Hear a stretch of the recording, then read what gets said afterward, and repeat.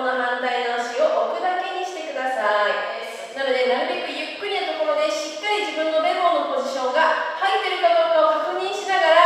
ら歩いていくと綺麗に歩けるようになってくるのでこのベロのポジションをしっかり、えー、自分で確認しながら体重の乗せ替えだったりとかあのウォーキングの時の、えーと、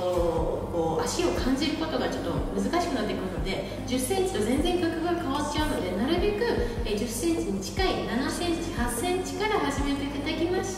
で慣れたらセンチっていう。ゆっくり回して。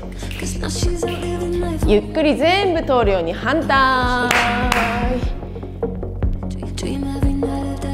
ゆっくり全部回して。